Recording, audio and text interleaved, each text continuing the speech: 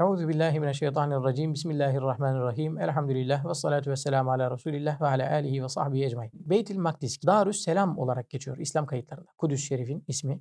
E, hatta yabancı e, dediğimiz gibi kayıtlarda da, yabancı kaynaklarda da Yeruşalim veya Urşalim gibi ifadeler kullanıyor. Hepsi Darüsselam'la aynı manadadır. Selam yurdu, selamet yurdu, barış yurdu olarak geçiyor. Bu hususiyeti kazandıkları önemli noktalardan biri de hiç şüphesiz 401 yıl boyunca Osmanlı hakimiyeti. Osmanlılar bölgede o kadar adil, o kadar mükemmel bir şekilde yönetim icra ettiler ki tarih boyunca bölgede hiçbir kimsenin ciddi bir isyanına veya şikayetine rastlanılmış değil. Dolayısıyla bir yerin ihyası nasıl oluyor? Bunu en iyi yine sizler ve sizlerin ve bizlerin ecdadı göstermiş oluyor. Bununla hakikaten iftihar ediyoruz. Öyle ki tarihimiz boyunca sürekli bu tertemiz bembeyaz sayfalarla dolu bir geçmişe sahibiz. İşte bölgede nasıl bir barış düzeninin oluştuğu mutlaka oraya gittiğinizde Yafa kapısının hemen yanında bulunan Kanuni Sultan Süleyman tarafından yaptırılmış olan El Halil kapısında görebilmek mümkün. Kudüs'ün her kapısında. Bütün şehir kapılarında şu ibareyi görmek mümkündür. La ilahe illallah Muhammedur Resulullah. Fakat sadece bir kapıyı görüyorsunuz ki o kapıda yazan ibare şu şekilde. La ilahe illallah İbrahim Halilullah. İşte bir medeniyetin, işte ecdadımızın oradaki insanlara olan kucaklayıcı tavrı, oradaki insanlara olan bakış açısı insana insan gibi değer verme hususiyeti bu vesileyle gözler önüne serilmiş oluyor. Osmanlı 401 yıl boyunca eksiksiz, bila istisna her bir e, vatandaşına orada hizmet etmiştir. Bakınız orada Kıyamet Kilisesi vardır. Kıyamet Kilisesi'nde birçok kez orada bulunan din adamları şurayı sen temizleyeceksin, burayı ben temizleyeceğim vesaire diye birbirlerine girmişlerdir. Hatta kanlı e, çatışmalara sebebiyet olmuştur. Birçoğunda birçok e, işte Hristiyan din adamı e, orada ölmüştür ve ciddi yaralanmalara vesile olmuştur. Bu vesileyle Osmanlı'nın e, oraya göndermiş olduğu Hattı Hümayunlarla ki bunlara yabancılar statük diyor.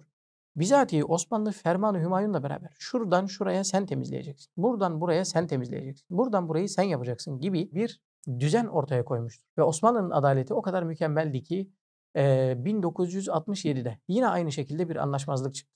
Yine bölgede Kıyamet Kilisesi'nde kim nereyi temizleyecek, kimin hangi yere kandil asma veya hangi yerde işte hususiyetli bekleme, oraya hediye bırakma gibi e, Hristiyanların vardır böyle şeyleri. E, o huyu var, o e, hakkı var.